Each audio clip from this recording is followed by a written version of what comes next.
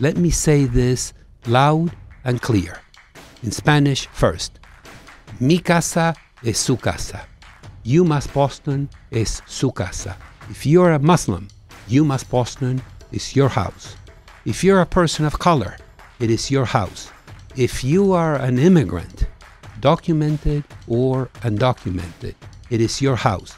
If you're LGBTQ, it is your house. If you're a native person, we know we're in your house.